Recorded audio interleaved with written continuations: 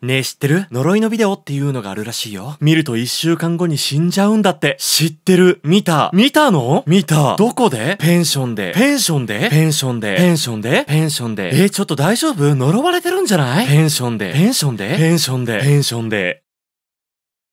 テレビの見すぎ。そんなわけないじゃん。そんな、ゆた話。そうだよね。そんなわけないよね。じゃあ帰るわね。うん、バイバイ。砂嵐ザー。え？うー、バタ。ということがあったらしいわ。私は記者だから、これは調査に行かないと。ブーン。とあるペンション。これがそのペンションね。ペンションじゃないわ。ビデオね。ピッ、再生。ザー。しまった。呪われてしまったわ。一週間後に死んでしまうわ。どうしよう。あ、そうだ。これを見てほしいの。元旦那。これを見ればいいのか？元嫁。ダビングしたビデオ。ピッ、再生。ザー。あー、俺も呪われた。一緒に呪いを解きましょう。そうだな。次の日。ザー。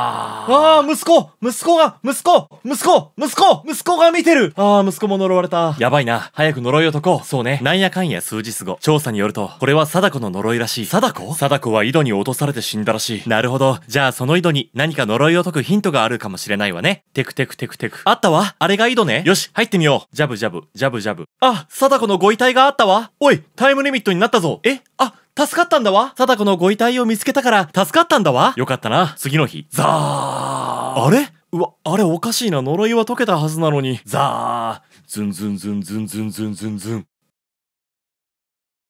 うー。また。うー。きっと来る。きっと来る。うー。きっと来る。きっと来る。きっと来る。